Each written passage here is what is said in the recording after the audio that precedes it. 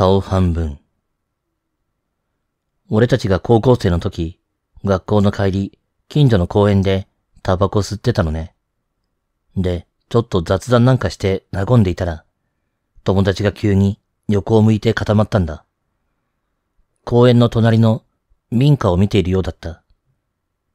俺は、何見てんだ？って感じで話しかけたら、友達が急に、俺の腕を力いっぱい握って、おい、あれ、窓、窓の方を見てみて、って言ったんだよ。んで、何ビビってるんだって思って、窓の方を見てみると、家の中から女の人が顔を上半分出して、こっちを見てるんだ。わ、何あれ？と思って見ていたら、その顔がどんどん上に上がってきて、変な動きしてるなって思ったら、鼻から下がないんだよ。ちなみに顎もない。ずっと顔の上半分。そのままどんどん上に上がっていって、鼻の下伸びまくり。で、顔が窓のサッシに消えたと思ったら、シュパンって音がして、下からものすごい勢いで、口と顎が上に消えていった。もう俺は恐怖でガクブル。その場で友達の腕を握ったまま腰を抜かしてしまった。声も出ない。ただその場にへたり込んだ。その瞬間、男の声で、出て行けって声が真後ろで聞こえた気がした。でも俺は身動きができない状態。今思うと金縛りになっていたのかもしれない。やばいって思った瞬間、友達が俺をいきなり抱えて、うわーって叫びながら公園から猛ダッシュ。俺、お姫様抱っこ状態。何が何だかわからないまま、人通りの多い道路まで運んでくれた。友達は力が抜けたのか、俺を下に落としてへたり込んだ。俺もまだ腰が抜けていた。で、お互い顔見合わせて出た言葉が、何だったんだ今の、だった。そのまま互いに回復するまでその場に座り込んで家に帰ったんだけど、その日のことはお互い話はしなかった。なんか、言い出しづらい感じだったし。で、今日会って、その話になったんだよ。そしたらさ、お互いに見ていたものが違ったんだ。俺は、女の人の顔が上半分。で、声が男。友人は、おっさんの顔の下半分が下に降りていく感じ。で、声が女で、キャハハっ笑い声だったそうだ。友人は笑い声聞いた瞬間に逃げろって思ったらしく、俺を抱えてくれたそうだ。何はともあれ、友人がいなかったら俺はどうなっていたんだかって思うと、未だにガクブルなんだけど。で、ちょっと疑問。同じ状態で見たのに、見えているものが違うってよくあることなんですかね。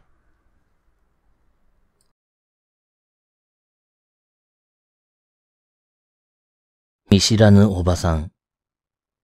母さんが子供の時、ある団地に住んでいた時のこと。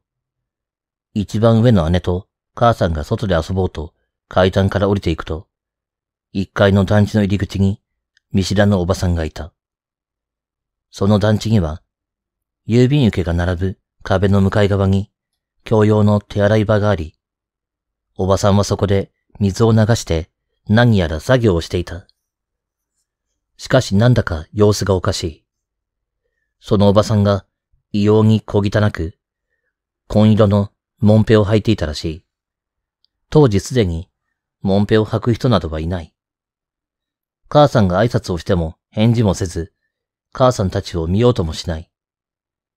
母さんは不審に思いながらも、おばさんの後ろをすり抜けて、外に出ようとすると、戻れ。おばさんが不愛想に言ったらしい。そこで母さんがもう一つの異変に気がついた。その頃はまだどの家も玄関のドアを開けっぱなしにしていた時代。階段を降りてくる時も開いたドアから物音や子供の声が聞こえていたのに、その時は何の物音も聞こえなかったらしい。母さんが立ちすくんでいると、戻れ、すごい声で怒鳴ったそうだ。恐ろしくなった二人は手をつないで、四階の自宅まで駆け上がったんだが、やはりさっきまで開いていたドアがすべて閉まっていたらしい。二人は無事家に帰って、家には何の異変もなかったらしいが、あまりにも不思議で恐ろしかったせいか、二人は大人になるまで一度もその話は口にしなかったそうだ。これ、子供の時聞かされてとても怖かった。母さんは、異次元、母さんはそう言った。異次元に行ったら、とにかく元にいた場所に帰りなさい、と、幼い自分によく言っていたよ。怖いよ、母ちゃん。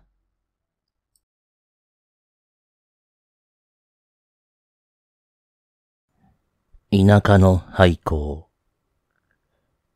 俺の田舎にある廃校には、その昔、小さな男の子が、かくれんぼの最中、隠れるところが悪かったのかは知らないけど、窒息して、短い生涯を絶ったという噂が、相当昔から流れていた。そんな噂は、当の昔に忘れており、俺が大人になって、久々に田舎に帰って、田舎の友達とワイワイした帰りに、興味本位で例の廃校に探検をしようということになった。廃校は今でも普通に誰でも入ることができる。俺と友達合わせて4人で廃校に入った。廃校の廊下には、サッカーのゴールまでとは言わないが、ものすごく横に長い、でかい鏡がある。そこで俺たちは立ち止まって、4人並んで鏡を見た。すると、友人の一人が、今、5人いたよな、と言い出した。そいつは当時から嘘が大好きな奴で冗談かと思っていた。そしてもう一人の奴が、ここってそういえば、昔かくれんぼの最中、〇〇くんって亡くなった子がいる廃校だよな、と言い出して、全く忘れていた記憶が蘇り、みんな怖くなり始めた。とりあえず、横の教室に入って、4人は座りながら一服していたら、ボロボロの掃除用具入れのロッカーから、ドンって音が聞こえた。今のなんだ？猫か？と、俺は言った。すると、友人の一人が、もういいかい、かくれんぼでは定番の呼び声を面白半分で喋り始めた。すると、その直後、先ほどのロッカーから、もういいよ、と、とても悲しそうな、幼い男の子の声が聞こえて、俺たちは一目散に逃げ出した。翌日おもちゃ屋で子供が好きそうなおもちゃを買って、四人でその教室にお供えをし、お線香を焚いて帰ろうとした。そしたら、廊下の遥か遠くの方に人影を見た。それは男の子だった。その男の子、またいつでも遊びに来てね、と笑顔で言いながら、俺たちに手を振って消えていった。今でも田舎に帰るたびに、そこの廃校によっておもちゃをお供えして、俺たちは、その男の子の名前を呼んで、見つけたと言ってあげている。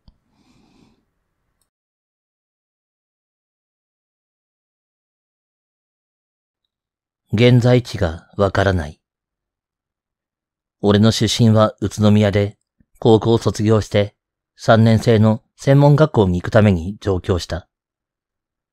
夏休みのある日、赤羽駅近くの居酒屋で深夜まで飲んで、タクシー捕まえて、家の近くの大きな公園まで乗せてもらった。車内で運転手さんと話をしていたんだが、いつの間にか寝てしまい、起きて気がついたらまだ車内。車が停車してるんで、おかしいなって思ったら、運転手さんも寝てる。慌てて起こして話を聞いたら、いつの間にか寝ていたらしい。しかも、現在地がわからないと言い出した。あたりは真っ暗だったんで、数十分寝ていただけかと思って、俺は時計を見たんだが止まってた。料金メーターは表示されていない。無線も使えない。人気のない街の路肩だった。慌ててあちこち走り回って公衆電話を見つけて運転手が会社に電話したら、なんでお前がタクシーに乗ってるの？って言われた。コンビニを見つけて店員さんに、ここはどこかと聞くと、栃木県の小山市だと言われた。しかも日付は3日前。怖くなった俺は公衆電話から家に電話をかけると、知らない女性の声がしてすぐ切れた。運転手はとにかく会社に戻ると言い張って、高速に乗って赤羽まで戻ることになった。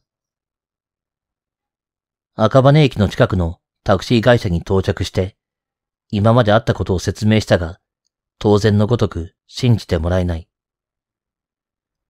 3時間ほど前に運転手が電話をかけたことを話しても、電話などはなかったそうだ。疲れているから二人ともソファーで休めと言われて、そのまま一睡もしないうちに朝になり、朝のニュースを見ると日付が元通りになっていた。家に電話をかけても普段通り親が出た。夢でも見たんだろってことになったんだけど、あれは絶対に夢なんかじゃないんだ。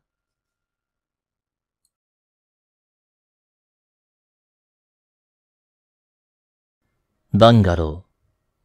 昔友人数人と山にキャンプ、バンガローに行った時、山とは言っても一応ちゃんとした施設で一日いろいろと遊んで楽しかった。それでようやく夜、さあ寝ようかという時間。就寝の支度をしていると、友人の Y が結構我慢していたみたいで、トイレ行ってくると言って出て行った。みんな疲れていたようで、支度が終わると瞬間で寝ていた。自分も寝そべりながらうとうとしていた。その時、不意にバンガローのドアが強めの勢いでガタッと開いた。さっきトイレに出かけた Y がドアから顔だけ出してこちらを覗いていたんだ。だが、どうも様子がおかしい。服装や髪型はどう見ても Y なんだけど、目が不自然に垂れている。人間の目を位置はそのままで角度だけ、ハの字にしたみたいだった。自分が、ワイと声をかけた。それとほぼ同じタイミングで、そいつがこう言った。なんで、助けてくれなかったんや？間違いなく、ワイの声だった。え？何が？と思う間もなく、そいつはドアを閉めた。たったったっと走り去る音が聞こえた。他の友人は誰も起きてはいないみたいで、俺は意味不明で怖くてしばらく眠れなかった。しばらくすると、またドアが開いて人が入ってきた。恐る恐る見ると、Y 本人だった。いやー、漏れそうで危なかったよ、と笑いながら布団にくるまっている。意を消して顔を見てみたが、間違いなく、俺の友人の Y だった。翌朝 Y にそれとなく、昨夜トイレに行った時と帰り、誰かとすれ違ったりしなかったかと聞いてみたんだけど、別に誰とも会わなかったとのこと。俺は特に誰かを見捨てたりした経験はないし、あの言葉の意味が全くわからない。目が異様に垂れ下がったあの顔、今でもたまに夢に出てくる時がある。誰かが間違えて入ってきたのかな。でもそうだとしたら、あれ本当に人間だったのか？?Y はもちろん今も健在でたまにあったりしているけど、この話は Y 本人にはしていない。